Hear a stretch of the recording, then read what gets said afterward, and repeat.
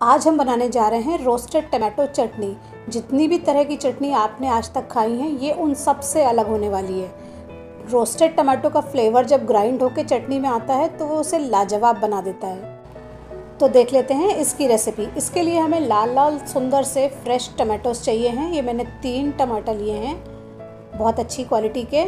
एक bird garlic का लिया है, चार ग्रीन चिली और थोड़ा सा ग्रीन कोरिएंडर इसके लिए सबसे पहले हमको इनको रोस्ट करने रखना है।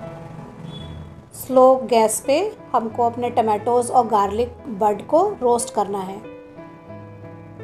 ये जो ग्रिल देख रहे हैं, आप हर घर में मिल जाती है। अगर आपके पास नहीं हो ये स्टील वायर ग्रिल तो आप इसे डायरेक्ट फ्लेम पे भी रोस्ट कर सकते हैं। मेरे पास थी तो मैंने कर ली है। और ये मैंने इसलिए लगाया हुआ है एलुमिनियम फॉयल जिससे कि गैस गंदी ना हो। अभी मैंने किचन साफ़ किया है, मुझे फिर से करना पड़ जाएगा और टमाटोज़ तो जूस छोड़ते ही हैं तो इसलिए मैंने इसको ये लगा लिया है। इसको हर तरफ़ से घुमाते हुए हमको रोस्ट करना है। स्किन ब्लैक हो जाएगी इसकी, जिसे हम बाद में निकाल देंगे। इस प्रोसेस में तीन से चार मिनट लगेंगे आपको मीडियम फ्लेम पे। और गार्लिक क्लोव बहुत जल्दी रोस्ट हो जाता है, उसको हमने रोस्ट करके अलग निकाल लिया है। सब तरफ़ से इसको घुमा के हमने रोस्ट कर लिया है। अब इसे भी हम एक प्लेट में निकाल लेते हैं।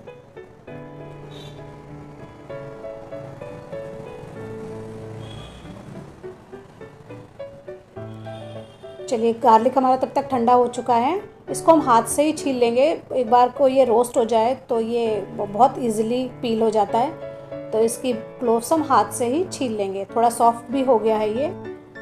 तो इसको हम एक एक करके छील लेंगे।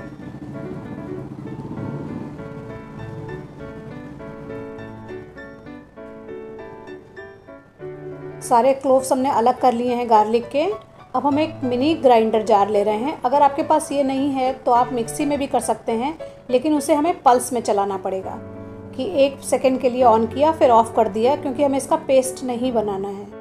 तो अगर आपके पास ये है तो आप इसको ही यूज़ करें। इससे बहुत अच्छी चटनी बनती है।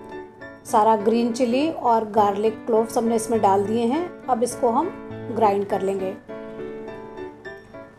टमाटर हम बाद में डालेंगे क्योंकि टमाटर डालने के बाद ये अच्छा सा ग्राइंड नहीं होता है। एक अनियन भी हम यूज़ कर रहे हैं आप यहाँ पर। इससे भी बहुत अच्छा टेस्ट आता है और क्रंचीनेस आती है। तो आप भी इसको यूज़ करें, इसको भी ऐसे ही थोड़ा सा ग्राइंड कर लेंगे।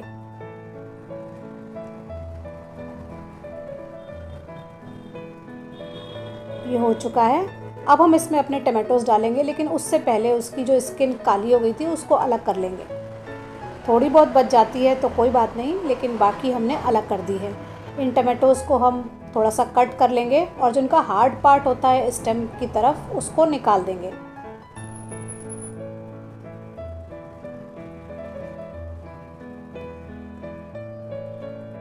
इस तरह से सब टमाटोज़ के स्टेम पार्ट हमने निकाल दिया है। अब इसको हम उसी ग्राइंडर जार में डालकर ग्राइंड कर लेंगे। ध्यान रखिए, इसका हमें पेस्ट बिल्कुल नहीं बनाना है, इसको मोटा दरदरा ही रखना है।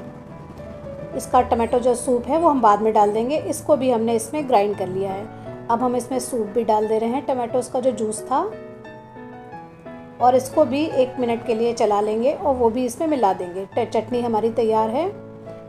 इसको एक बोल में निकाल लेंगे। ये बहुत अच्छी बनती है। आप एक बार इसको ज़रूर ट्राई करिए।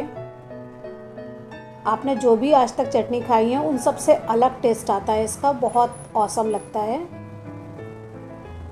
ये सब हमने निकाल लिए हैं। अभी इसमें हमें तीन चीज़ें डालनी हैं।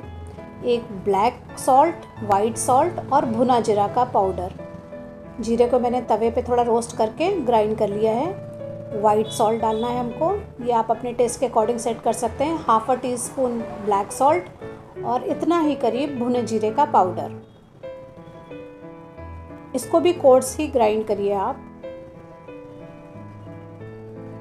इसको भी इसमें मिला देंगे। एक बार इस कप को मिक्स कर देंगे। अभी हमें इसमें डालना है थोड़ा सा एक चम्मच ऑयल मैं यहाँ ऑलिव ऑयल यूज़ कर रही हूँ। अगर आपके यहाँ कोई मस्टर्ड ऑयल खाता हो तो इसमें मस्टर्ड ऑयल डालिए। ट्रेडिशनली इसमें वही डाला जाता है। चटनी हमारी तैयार है। किसी भी चीज़ के साथ में आप इसे सर्व कर सकते हैं। नहीं तो साइड डिश तो बना ही सकते हैं। बहुत टेस्टी बनती है ये। If you like my today's recipe please like and subscribe my channel